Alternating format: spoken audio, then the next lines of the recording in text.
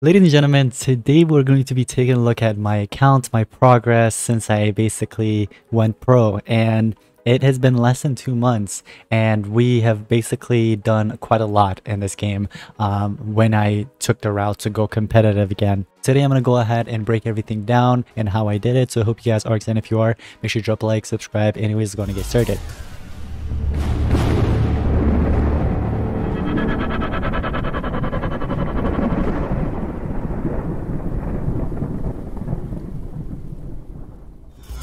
So you guys know I before before my current team I was actually in team Skyline and Skyline was a team that I actually made after uh, leaving Team Spirit 2015. Now I left Team uh, Team Spirit 2015 uh, basically because I wanted to take uh, like a break from the competitive scene because competitive scene was just getting crazy for me. You know what I mean? Like too time consuming. I had a lot of things to do. Um, and then like less than two months ago, I decided to basically just open up a new team, like create a new team and basically uh, go on from there. And so I basically got you guys to join in the team and this is everybody right now in my team.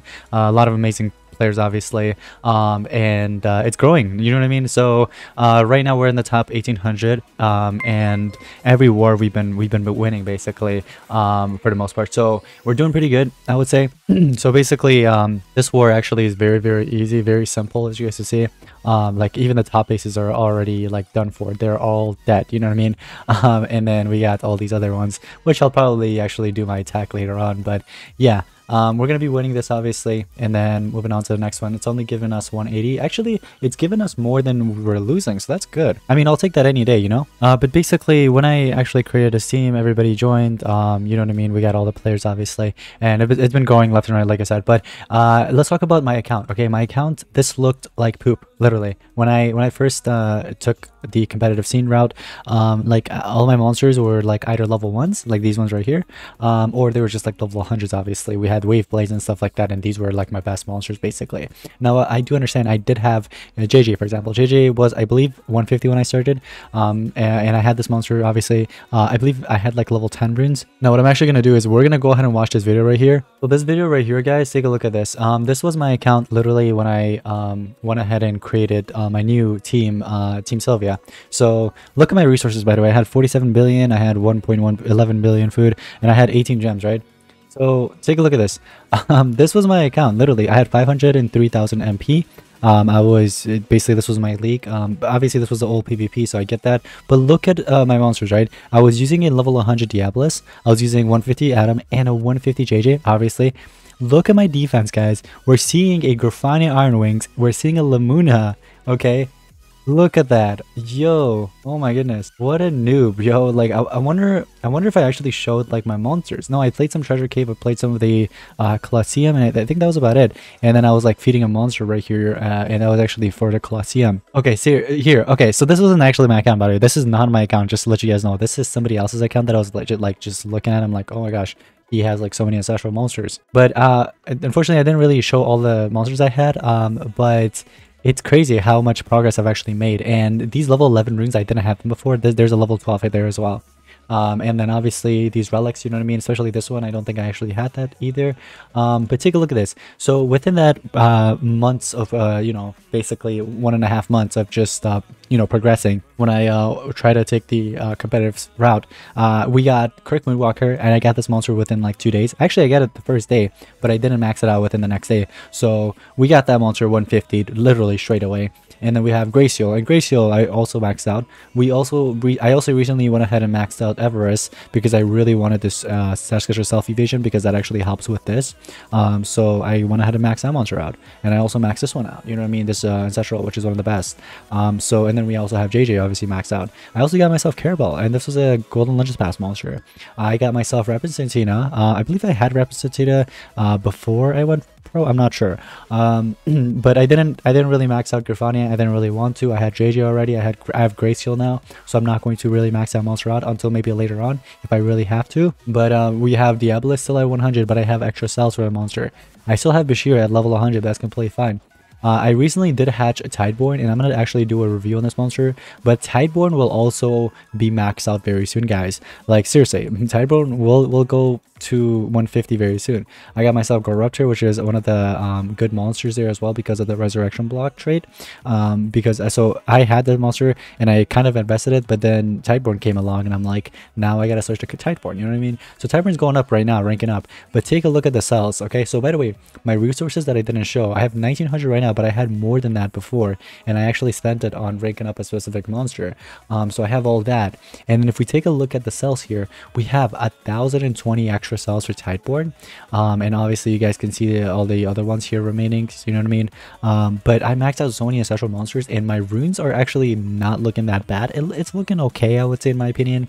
Obviously there's a lot of room for improvement, but if we were to take a look at my runes right now, take a look at this.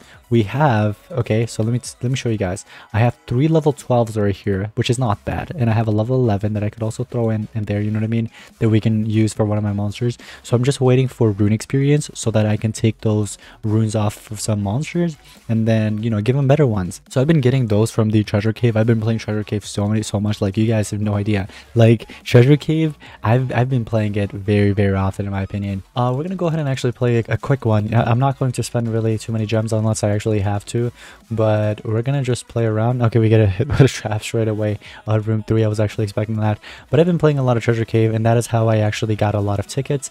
Um, so I don't actually purchase the tickets. I think this is a bad idea. This is like the, the one of the worst things you could actually do.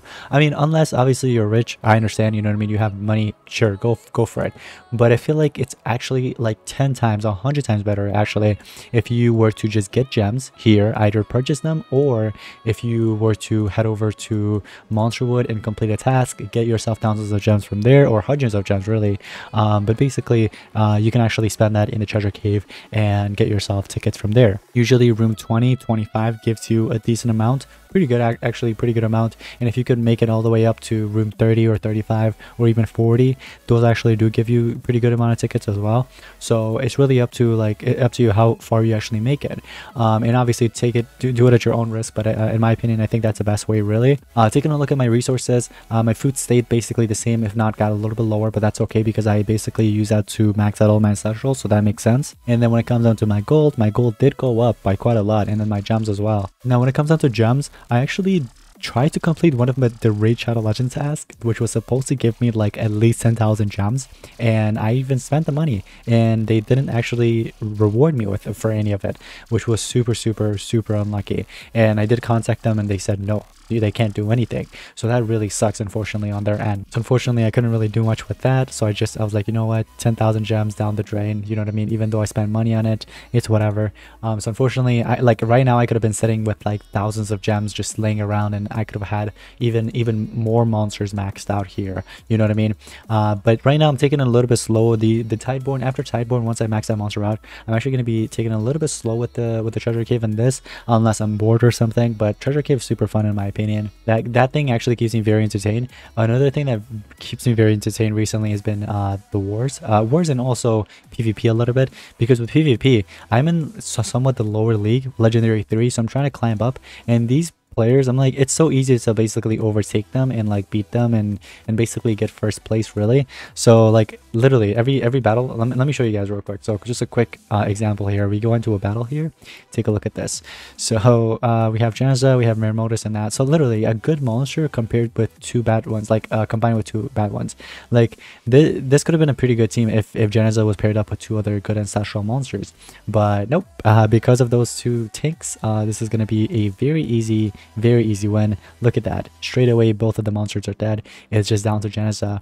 And Jenazah's going to be easy to beat as well. So let's see whatever she does. She's probably going to, yeah, she's going to do an extra turn and that's going to kill her. So there goes that. And then she comes back. This is why I need Tideborn, by the way. I do need Tideborn. I'm either going to give it, uh, set it up on defense or I'm actually going to use it on offense. But it's really nice because now I get to actually use like multiple ancestrals together. Like I'm using three ancestrals here. I'm using two of them here. And all I, all I really need is Tideborn on my team here. So yeah, and then uh, Kirk Moonwalker's been so good. The, the only thing that's really bad right now is the runes, obviously. The runes could definitely be better. And then later on, obviously, we could focus on um, you know what I mean, Tideborn, and also runes in general. Like I need a lot of good runes, like high level runes. That's what I really need right now. Uh, but again, our team is still growing, so it's, it's really cool. Just just just waiting for us to get up there. You know what I mean? Uh, climb up the leagues and stuff like that. And also another thing I've been doing. Um, so I did actually purchase a couple of the Golden Legends passes. This one I'm actually going to skip because I'm not really a huge fan of it. So I've been skipping like I think the past two. So I haven't really been spending too much on the Golden Legends pass. I think I picked up only one or two of them. They do give you good runes. They give you tickets as well. And obviously there comes gems and stuff like that. Even a rank four monster. This is really up to you if you want to invest in it or not. But um, I personally skipping this one. Uh, maybe the next one I'll probably invest in, but this one's just going to be a skip for now. So in my opinion, here's the thing. If you are returner, okay, if you're if you're a either returner, if you are a beginner, if you are basically just coming back from retirement and going into the competitive scene and you want to basically advance very very quickly, the best way to do that would be to uh, get yourself a couple thousand gems, okay? And I understand uh, this, you might either have to complete a task free to play, which again, that could be done free to play if you find a good task and grind that out, or if you actually just purchase gem packs, right? During discounts, you can get $50 for 7 1700 gems, possibly a little bit more through the Monster Legends website, obviously. But if you get yourself a couple thousand gems and you go ahead and play the treasure cave and get yourself those tickets, those golden tickets, in my opinion, I think you should do this, okay? If you are literally just a beginner, or again, uh, beginner, returner, or just coming back. The best thing to do would be to go with this one right here because this one gives you the lamp of choice and also gives you a chance to get the egg. And then when you get this, in my opinion, the best route to take, like the best monsters you should pick up straight away would be Jenazah, right?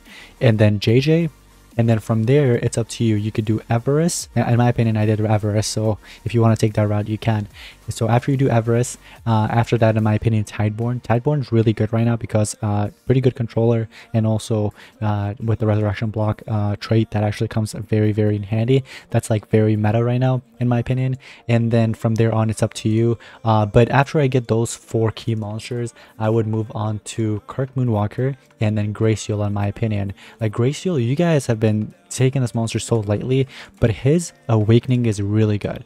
Like, I personally don't use his actual awakening where you just remove all the positive side effects and deal damage. I mainly use it to basically just, you know, use this monster as a tank. So, for example, uh, the fact that this monster has Megaton, 25% damage mirror, that is just so good. You know what I mean? In my opinion, that's really, really good. Com just combining that with immune to torture and damage section, I feel like this monster is just so good in general with all that. And you get immune to control as well, which is really cool.